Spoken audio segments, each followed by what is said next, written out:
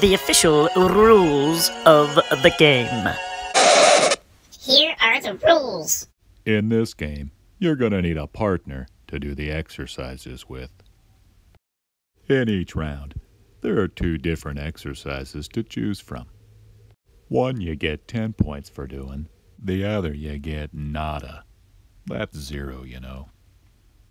When the music starts, you and your partner choose an exercise. You can choose the same one, or you can choose different ones. The choice is up to you. Do your best and encourage your partner. Try to go the full 25 seconds. When the music stops, look to see who won the points for that round. Look at that guy. He got 10 points. Keep track of your points, and at the end of the game, whoever has the most is the winner. Just remember to have fun, play by the rules, and always do your best.